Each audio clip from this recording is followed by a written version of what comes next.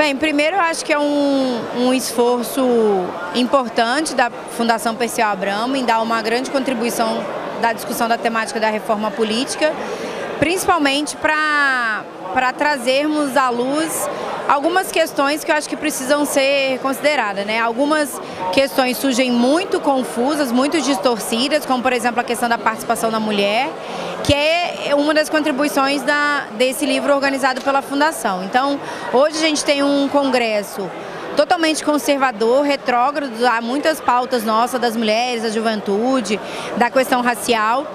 E uma reforma política, a discussão do que significa uma reforma política no Brasil é fundamental.